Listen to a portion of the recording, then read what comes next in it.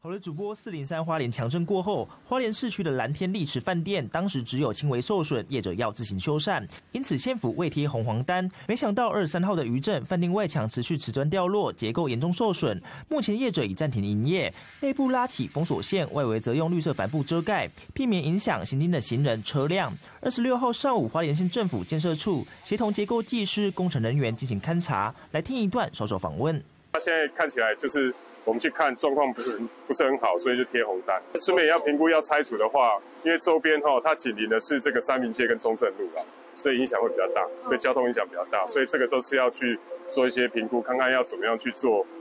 未来这个封闭道路跟拆除的一些规划。如果要拆的话。花莲县政府建设处表示，蓝天历史饭店直接被判定为红单建物，预计安排在统税大楼后进行拆除。至于统税大楼有望从二十七号开始拆除，而正在拆除的富凯饭店，目前也加掉另一台拆除机具，以加速拆除作业。